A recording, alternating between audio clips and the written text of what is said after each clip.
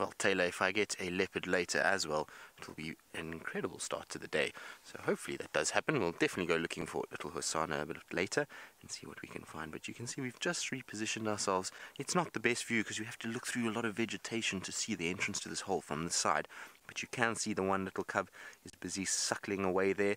Now, it's not to say that the other cub isn't there. He could be just inside the hole and has already suckled and is now having a nice nap after seeing mom and would have been quite excited and played around quite a bit and maybe got a nice full tummy and has got inside the warm termite mound to be able to have a little rest. So it's no concern at this stage.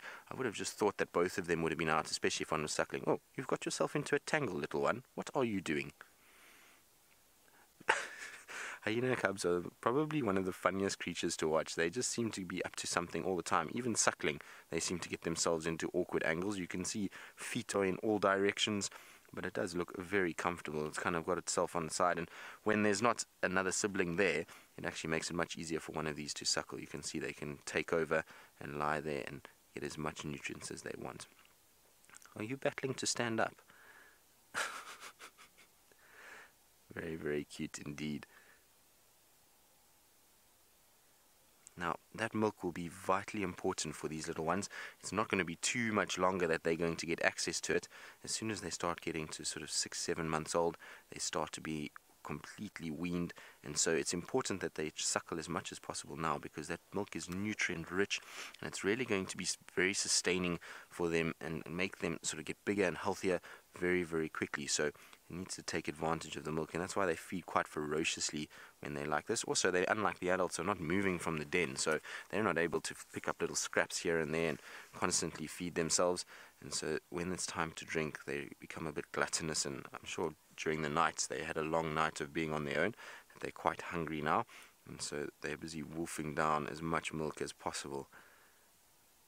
But it's really good to see that they are still at this den. I was getting a bit despondent by it all, but when Taylor said yesterday that she had tracks for the little ones, then at least we knew that those little ones were still alive and must be somewhere close by.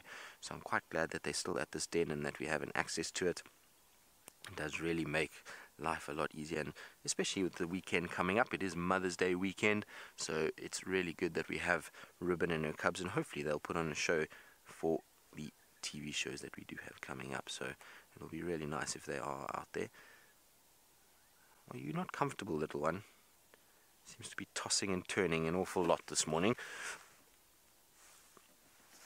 I wonder if there's isn't maybe some sort of parasite that's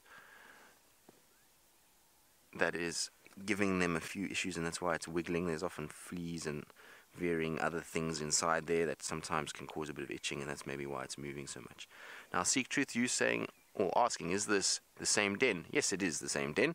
It's just we're at a very different angle. Normally, Ribbon actually lies away from that hole, and she'll spend time in the more sort of open areas, and the cubs come out. But it is the same den. It just looks very strange from this angle because of all the trees. If I drive around a little bit, you'll see that it is indeed the same one. Now, in the background there is a marula tree where we had Shongile the other day, so it is the same den that they spend a lot of time at. It's just that there's been sort of quite a lot of disturbance here. We've had Shongile arrive, so that would have been a scent of a leopard. There's been quite a few elephants and buffalo that have walked through here, and then we had most of the members of the clan arrive the other day, and Byron was here when that happened, and there was lots of vocalizing and lots of commotion. And since then, it's been a bit quiet at the den. We've sort of struggled to find them here. And so maybe there was just a bit of sort of commotion and they became a little bit more shy of what was going on. And now sort of everything's calming down again. They back out and you can see Ribbon is far more relaxed with things. The other day when I came here, she just got up and moved off. She didn't even stay at the den. So it's nice to see her sticking around and feeding the cubs and taking it a little bit easy and not too phased by our presence. But you can see that little cub is perfectly positioned. Isn't that cute? And it's getting so spotty now. I remember when we first saw them, they were those dark little black babies and they had no spots on them yet. And now you can see quite a few spots coming out. There's very little in the way of black, just the legs are solid black color now. So they are getting quite big quite quickly. And one came out just now when we first arrived and it was actually standing quite close to the car. And I'm very surprised at how tall they are already. Their legs have gotten much longer. They no longer have those short little stubby legs that run around they've got now these more sort of hyena looking legs where the front legs are nice and long and they're starting to look quite big and sort of strong so it's really good to see that they're growing so nicely and getting enough nutrition and enough food to sustain themselves.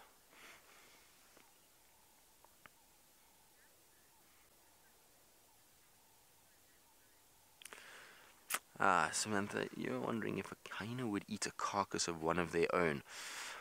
Well, I've seen them eating a carcass of a hyena. I'm not, I'm not sure if it was one of the clan members, um, but I wouldn't be surprised if some of the lower ranking individuals or males ended up eating a carcass of one of their own.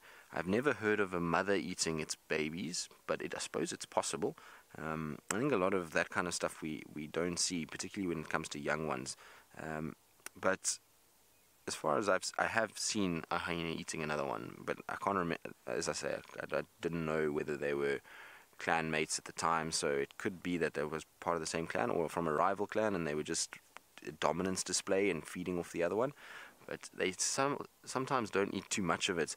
In the one that I saw them eating, there was kind of they just ate over the rib cage area and then they left it and it just rotted away. So I don't think it's their favorite thing to do. I think it's more just a show of dominance to another one and sh- to show that we have killed this particular individual and and that they you know they kind of sending out a very clear message that they are the more sort of dominant of that particular area.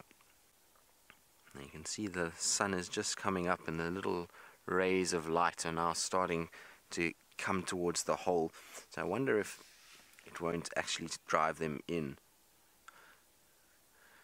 Nora, you're wondering if hyena babies suckle in their sleep. Well, you can see that little one is eyes are closed. It's not sleeping though. It's it's still awake and every now and then it's moving, but they do go into a sort of rest position, eyes closed, and they then just suckle away.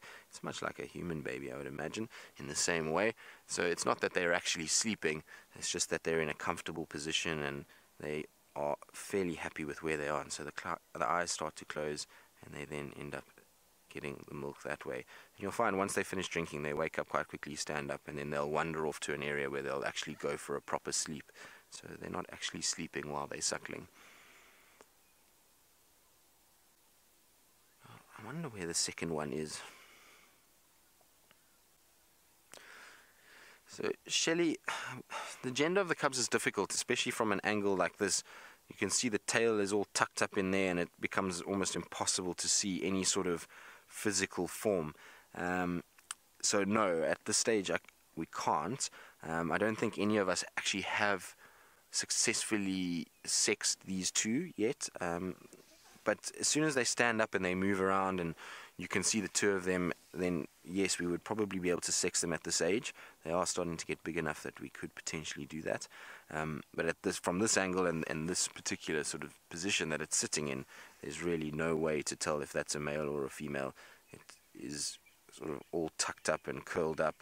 You can see it's pulling its little bum in now, so there's really no ways to see sort of genital area and see whether or not it's a male or female. Right. Now, unfortunately, we're probably going to have to leave these hyenas fairly shortly. There's quite a few vehicles that would like to come and see them. It's been an absolute privilege to see them this morning. So we're probably going to carry on and see if we can't find Hosana. And while we do that, I believe Steph is out and about and would like to say good morning from the Bushwalk team.